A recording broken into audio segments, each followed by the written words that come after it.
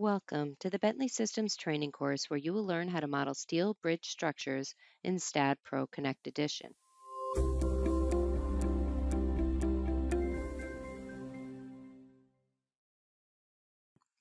This course is specifically designed for the students that will be competing in the ASCE, AISC Student Steel Bridge Competition. In this particular video, we are going to be focusing on assigning specifications to the members in our model and to create supports. We will now turn our attention back to our sample model that we created in the previous series of videos. For this video, we're going to be focusing on assigning specifications to the members in our model. To start this process, we're going to go up to our Workflow Page Control area and now select the Specifications tab. You're going to notice that when this page is selected, the Specifications dialog is going to appear in the Data area.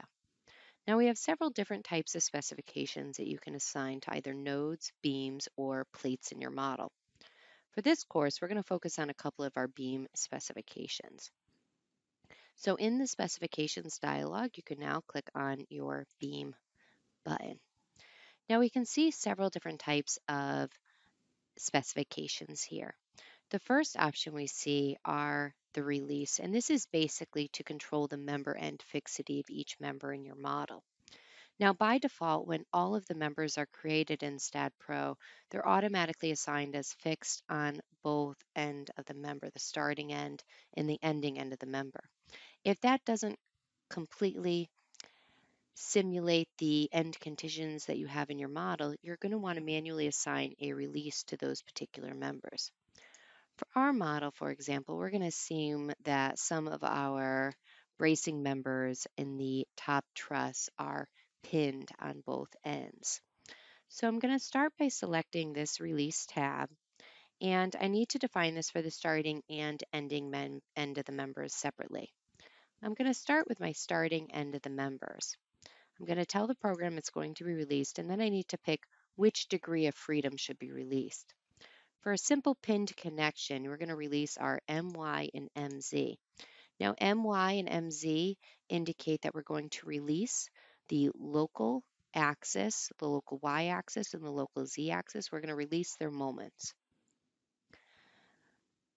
Once we enter this specification, we're going to go ahead and click the Add button. And then we're going to repeat this process again for the ending end of the member.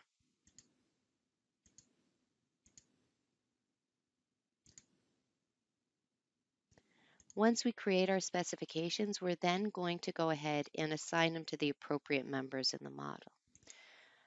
This, for to do, accomplish this, I'm going to select my specification. I'm going to hold down my control key and select the members that it's applicable to. Once I'm done, I could say assign to selected beams, and then I'm going to click on my assign button. Now we're going to notice that STAAD Pro is going to give me an indication at the end of that member.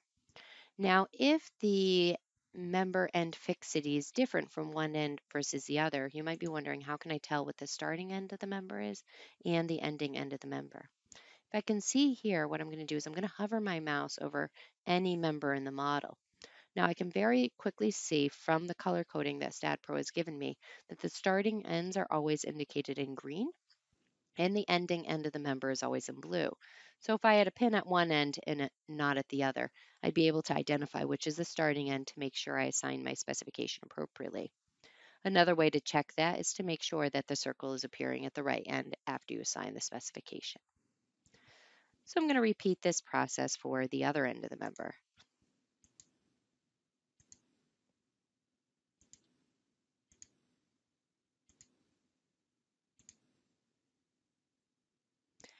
In addition to member end fixity, I'm also going to want to, for this particular model, assign some axial restrictions on a couple of my members. To do that, we're going to go back to the beam button, and I'm going to find several different areas that I can accomplish this. The first one we're going to take a look at is the truss specification. This will be used to tell the program that we have a truss member. And whenever something is assigned as a trust, truss member, what it's doing is it's telling STAAD Pro that it can only carry axial loads. In addition to that, I also have a compression only and a tension only specification. These will be used to define compression only or tension only members. Uh, compression only springs are capable of carrying compressive forces only, and they will be automatically inactive for any load cases that create tension in them, and the same re will result for a tension only member. For this particular model, I'm going to use the truss specification.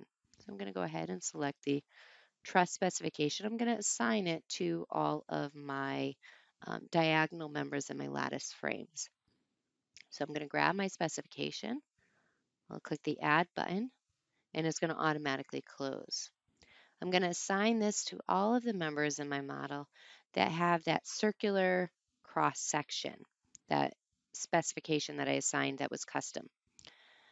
Now, to do that, to select all those members quickly, I can go to my Select tab in my ribbon, and I can select members based on their property name that's been assigned to them. So I'm going to go ahead and say by property name, and here I could select all those circular members.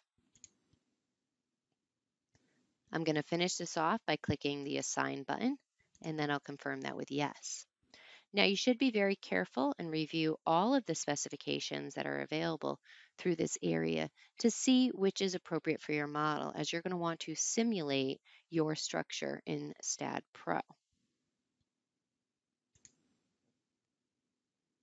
After you are done assigning your specifications, you're now ready to move on to the supports for your structure. In the Workflow Page Control area, I'm now going to select on the Supports page. When the supports page is selected, you're going to know that the supports dialog is going to appear in the data area. I'm now going to go ahead and click on the create button and you can see that we have a variety of different type of supports that we can create. We can create a fixed support which will be restrained against all six degrees of freedom. We can also select a pinned support, which will be a support that is restrained in all three translational degrees of freedom and free to the three rotational degrees of freedom. Now, if one of these fixed or pinned supports doesn't work for you, you can also select um, any of the fixed but or enforced but supports to customize the supporting conditions as you best want to simulate them. What we're going to do for this training is we're going to go ahead and assign a fixed support to our base nodes. So I'm going to select the Fixed Support tab, and we'll go ahead and click the Add button. Now supports will get assigned to nodes in the model. So what I need to do is I need to highlight the support and then select the nodes I want. Now since I'm already on the supports page, STAAD Pro has automatically changed my cursor to be the nodes cursor. So I'm going to just hold down my control key and select the nodes I want in my model. Once I've identified my supporting nodes, we'll go ahead and click the Assign button.